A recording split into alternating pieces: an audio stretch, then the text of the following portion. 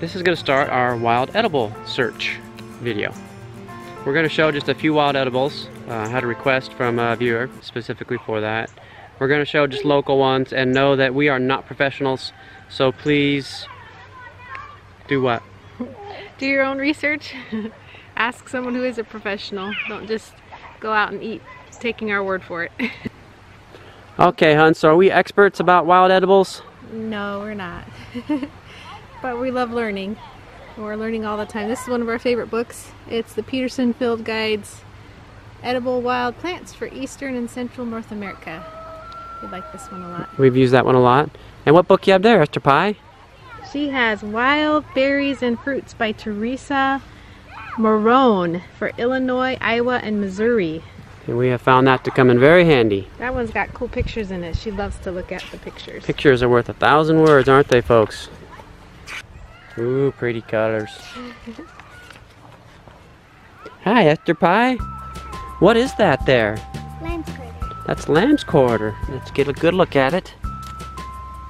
I'll zoom in on it. Okay, that's lamb's quarter. And how do you eat lamb's quarter, Esther Pie? You cook it like spinach. You cook it like spinach. Okay, thank you. Good job, honey. Okay, all these wild edibles that we are going to highlight are gonna all be within like 100 feet of our house. So we are not having to go search for these far and wide. They are right here, right by us. So here it will be number two. Hey Nathan, what you got there? A blackberry. Blackberry. Cool. What is thorny? It's a thorny blackberry, so it's Yeah. wild blackberry. Mm-hmm. How do the wild blackberries taste? Well, not as good as the thorny blackberries, but tastes good still. Hey, Nanny Bug, what are you climbing there? A persimmon tree? A persimmon tree? Yep. He's climbing a persimmon tree. So it's not even budding out yet. So I'll get close so you can actually see the bark. So you get an idea what to look for on the bark and the branch. So this persimmon right here is number three on our wild edible list. Nathan, what you doing up there? Climbing. What are you climbing? A redbud tree? A redbud tree. And are red buds edible? Yep. What part of the tree is edible? Flower. The flower? Mm-hmm. What else? The pods. The seed pods are edible as well. And how do you eat the flowers? You just pick them off and eat them. You just pick them off and eat them. Did you know you can make jelly out of them? And you can also fry them and make like a, almost like a candy out of them. They're really good. And the pods you just fry like you would um, green beans or something like that. Or you not fry, but you just cook them like green beans. They're good. So let me show you red bud leaf. That leaf, isn't that cool? That's the red bud. This is number four on our wild edible hunt. There's a shoot right there of what? What is this? I don't know what it's called. Greenbrier. Greenbrier. Now, what part of the greenbrier is edible, Nathan? The shoots. The shoots. You want the tender stuff, the mm-hmm. the newer stuff. Now, the other leaves are also edible, but they're not nearly as good as they get more mature. Mm-hmm. So go ahead and try it, Nathan. Pick it up and eat it. Um, just that bad. Uh-huh. How does it taste? It's in between um asparagus and lettuce almost. There you go. Tasty. In be- It's tasty? Nice. You sure are good looking. Okay, what's that, Joseph? Onion. Show us. Onion. Pick one. All right, you gonna eat it? Mmm, Onion. it's onion? Yeah. You like it?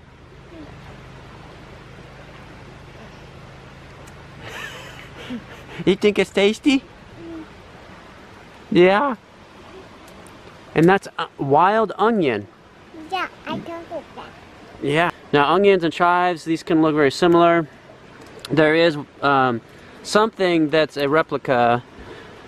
Um, that is not edible. So make sure you consult and, and make sure that they are.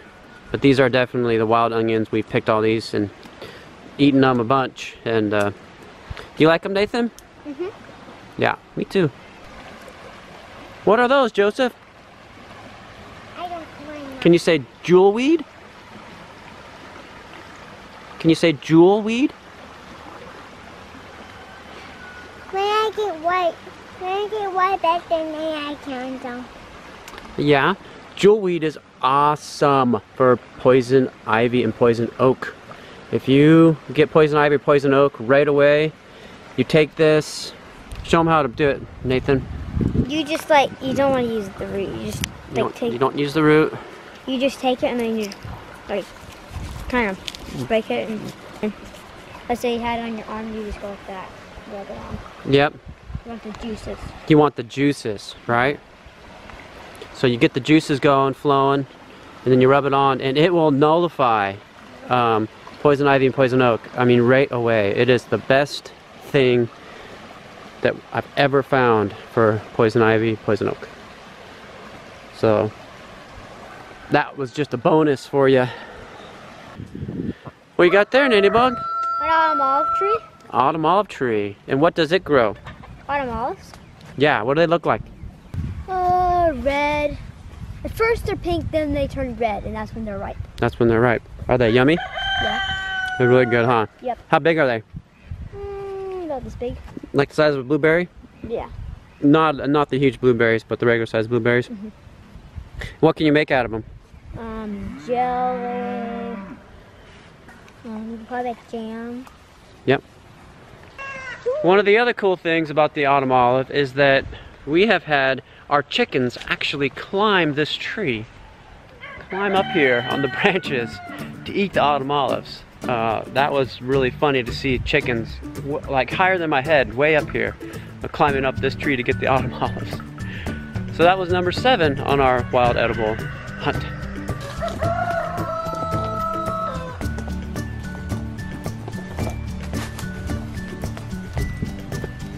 Now you're getting chased by a kitty.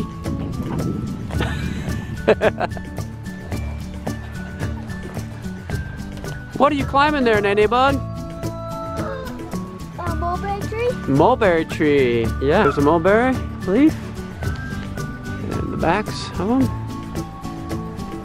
The bottoms of them. There you go. So there's the mulberry. That is number eight on our wild edible hunt. What we got here, Nene Bug? What's edible on the mayapple? Well, this is gonna turn into a little fruit, that flower.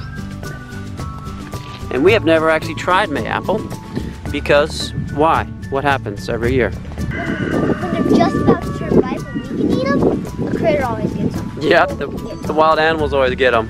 And they're really touchy. You have to get them at just the right time. So they're tricky. That's number nine on our wild edible hunt. And here's a fun one. What kind of tree is this, honey? Black cherry. Have we got have we gotten any- any cherries off it yet? We have. Yeah, a few. Mm-hmm. It looks like this year there's going to be quite a bit more than before. Yeah. Looks like it. It's really got a lot of blooms on it. That's number 10 on our wild edible hunt. All right, Nanny Bug, what we got here? Black cap raspberry. Black cap raspberry. Now, how's this different from regular raspberries? Well, it's black. Yep. Super tasty. Yeah, super tasty. Is this our favorite wild edible? Um, maybe. This, I don't know. this might be your favorite wild edible. Mhm.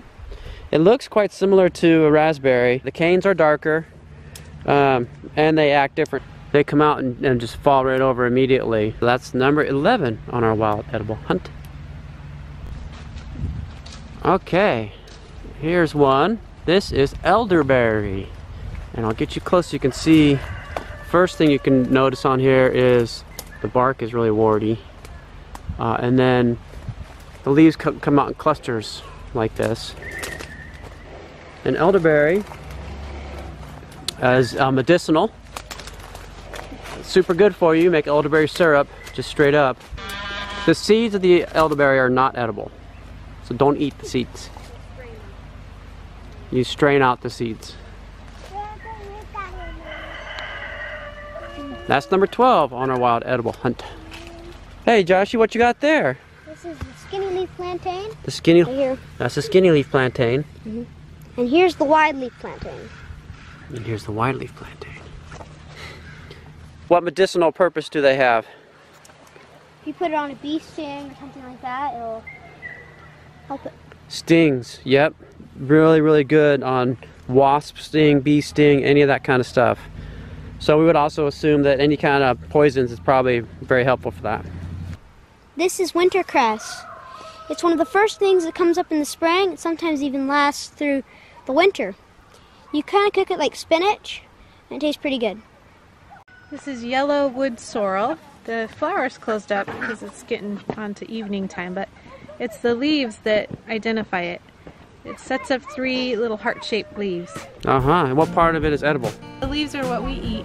They're really tart and yummy, but you don't want to eat too many of them raw since there's oxalic acid in them, just like a lot of greens. So, yeah, throw them in the salad.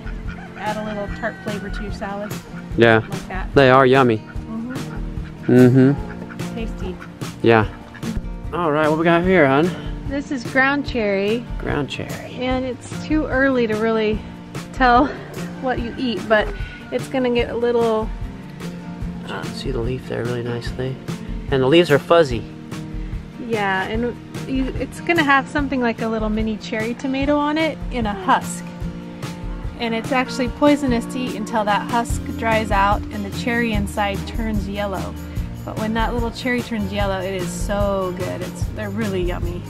You just have to wait. They they're warm weather uh, plants, so they're not ready until the end of the summer, early fall. And last year the ground cherries um, could never last because every time we went on a walk, like to get mail or something, what happened to all the ground cherries every time? Joseph Zilla. Joseph Zilla, he'd run and eat them. And this here is gooseberry. Gooseberry, we find it all over the place here. Well, it's mostly found in shaded spots and uh, by water. Um, but we have the creek down there and we have a lot of shade because of all of our trees. So we have a lot of gooseberry around here. It produces a kind of a translucent looking, what color does it get, hon? It turns like almost black. Turns almost black This What- particular variety. when they're ripe, right? Yeah, there's different varieties that are different colors, but this particular one. They look like drops almost though when they're coming out. It's pretty cool looking. So that's gooseberry. That's number 17 on our wild.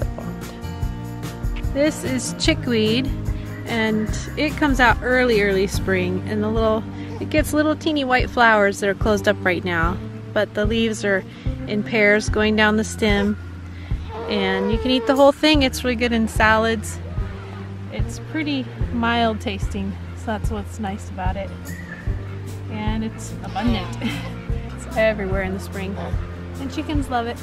Yeah, chickens and who else? Do the um, geese and ducks love it too? I think they like it too. yeah. What about the cows? Oh, the cows love it. The cows just munch it They like it's like it's it. candy. Yeah. Yep, has a lettucey taste.